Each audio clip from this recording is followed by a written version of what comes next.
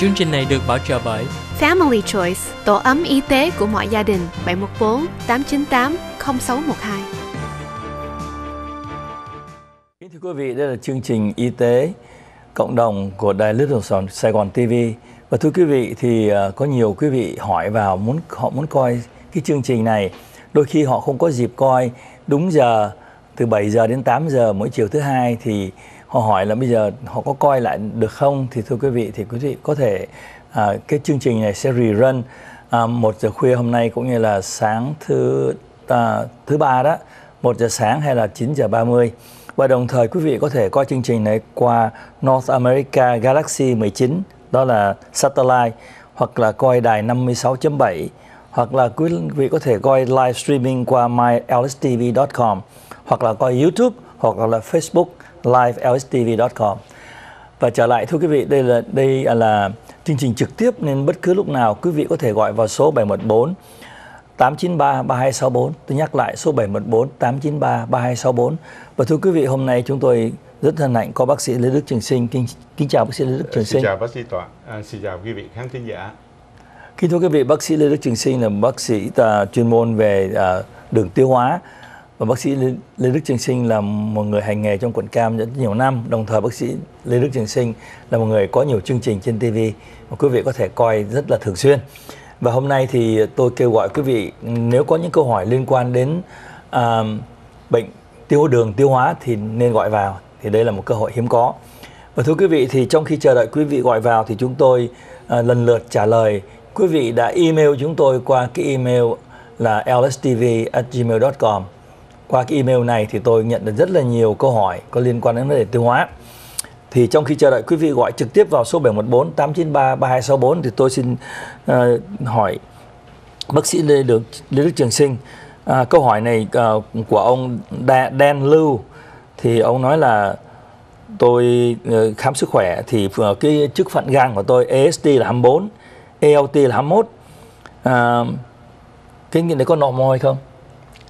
Dạ, tùy theo cái tiêu chuẩn mà chúng tôi dùng thì uh, trung bình là người uh, đàn ông người ta có thể cái ALT đó là một cái ờ, uh, chứng năng gan có thể lên tới 35 còn người đàn bà thì có thể là 25 là cao nhất. Cho nên trường hợp của ông là 24 thì tôi nghĩ vẫn còn rất là bình thường.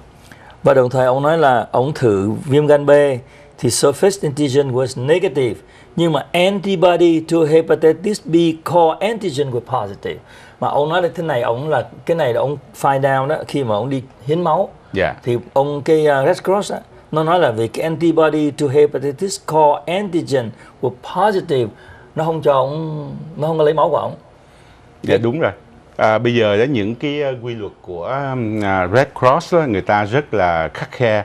Là tại vì khi người ta lấy máu của một người bệnh nhân mà có cái dấu hiệu là có bị bệnh hoặc là có bị bệnh khi xưa đó thì người ta sẽ không có dùng cái máu đó nữa. Họ phải là dùng cái máu hoàn toàn trong trắng không có một cái bệnh gì hết. Để làm gì? Để tránh không có đưa cái bệnh cho những cái người mà à, tiếp máu của họ.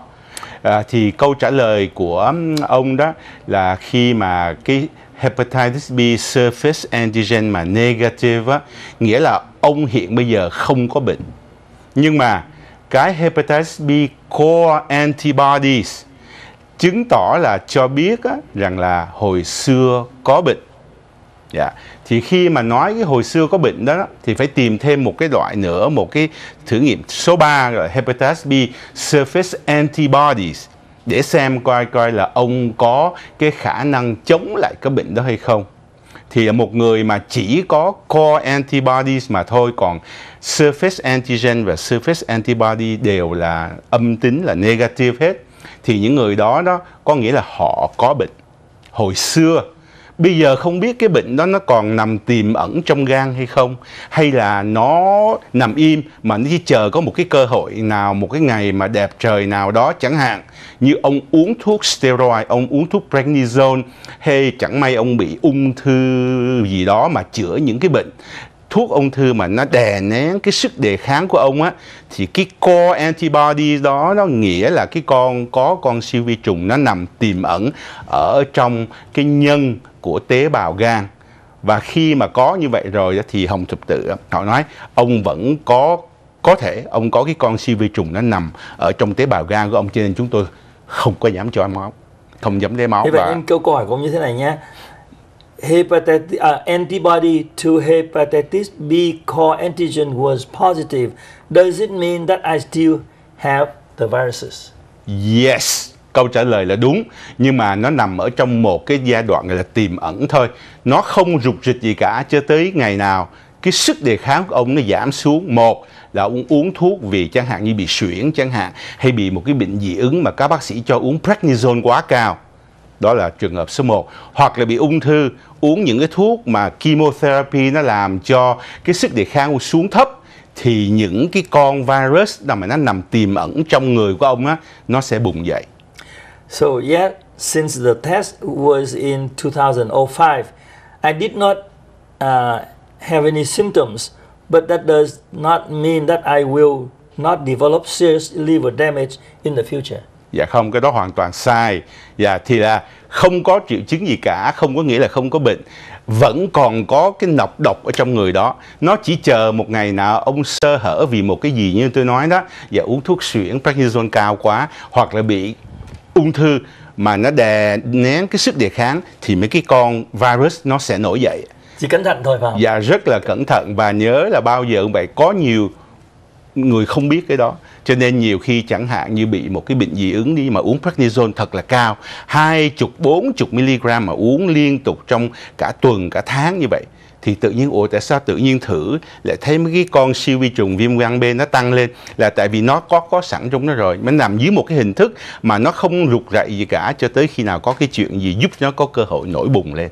Rồi, cảm ơn bác Sẵn đây có một câu hỏi nữa thì cái câu mà ai hỏi nếu như vậy tôi có cần phải chích ngừa hay không? Ai cũng hỏi cái câu đó hết. Rồi, bây giờ tôi có cái core antibodies nghĩa là tôi được miễn nhiễm cái gì? Sai. Cái core antibody không có giúp chúng ta hết bệnh được mà chỉ cho biết là chúng người bệnh nhân đó đã có bệnh trong tương lai. Như vậy những người đó có cần chích ngừa hay không? Câu trả lời là không bao giờ cần phải chích ngừa cả. Và cảm ơn bác sĩ đã chia Dạ. sẻ. Trên đường dây tôi có một khán giả xin cho biết tuổi ở đâu và câu hỏi. Dạ, kính thưa hai bác sĩ ạ. Dạ, chào bà. Dạ, dạ thưa hai bác sĩ tôi là năm nay 78 tuổi mà tôi không bị một chứng bệnh gì hết, tôi chỉ bị mất ngủ là một hai nữa là tôi bị rối loạn tiêu hóa đó. Kính thưa hai bác sĩ, vậy xin hai bác sĩ chỉ dùm tôi ạ. Rối loạn tiêu hóa là bà muốn nói cái gì mà bà muốn đầy hơi hay là À, bà đau bụng à. hoặc là bà đi bón hay là bà đi cái tiêu chảy? Dạ thưa bác sĩ thế này này tôi không có bị bón mà tôi cứ ờ, đi cầu hoài à có khi tôi đi hai ba lần một ngày mà tôi đi có khi thì phân nó tốt có khi thì phân nó sệt sệt đó kính thưa hai bác sĩ ạ và khi người ta định nghĩa cái rối loạn tiêu, tiêu hóa là như thế này là hôm nay thì bà đi cầu sệt sệt, ngày mai bà đi lỏng, mốt bà đi cầu không được, bà bón, bà phải ăn những cái à, thức rau cải cho nhiều hoặc uống thuốc để được đi cầu. Xong rồi có bụng nó đau nhức, nó hơi quặn nữa. Rồi ngày hôm kế tiếp nữa thì đứa con từ New York về nó thăm thì bà hết bệnh. Rồi xong rồi tuần sau bà lại đi vào cái chu kỳ đó nữa, đau bụng, tiêu chảy, bón. Thì cái đó gọi là tiêu hóa bị rối loạn, tôi gọi là ruột của bà nó bị điên á. Yeah. Cho nên vì như vậy những cái trường hợp đó đó là nó do cái ảnh hưởng của cái hệ thống thần kinh trên đầu của mình. Nhiều khi chẳng hạn như mình buồn bực thì mình lại đi cầu không được. Bữa nào vui quá mức, con cháu về đầy nhà chúc mừng bà thượng thọ sắp sửa 80 rồi thì bà lại đi cầu tiêu chảy. Đó. Nhưng mà rốt cuộc bà ăn uống vẫn được, bà không xuống kilo, đi cầu không có máu và không có một cái chuyện gì đáng kể xảy ra trừ cái vấn đề đi cầu nó hơi thất thường hôm thì lỏng hôm thì chặt hôm thì uh, hơi hơi sền sệt thì cái đó định nghĩa gọi là rối loạn tiêu hóa thực sự không có một cái thuốc, có thuốc dùng, nhưng mà với một người bảy mươi mấy tuổi của bà thông thường chúng tôi phải giải thích cho bà hiểu rằng là những cái đó là do cái đầu óc của bà. Đôi lúc nhiều khi bà vui thì nó đi tiêu chảy nhiều, bà buồn thì nó không chịu đi cầu. Và không có gì đáng sợ hết, cái quan trọng là không nóng sốt, không đi cầu ra máu và không xuống kilo thì cái điều đó không sợ có những thuốc mà bác sĩ Toản có thể cho bà cũng được để giúp cho đầu óc bà nó ờ, nó tịnh ổn lại nó không có còn suy nghĩ vẩn vơ không có lo sợ gì cả thì nó sẽ điều hòa lại cái hệ thống thần kinh trong cái bộ tiêu hóa của bà và bà sẽ sống như thường Tôi hy vọng bác sĩ Lê Đức Trường xin trả bà, bà trả lời bà rồi nhé.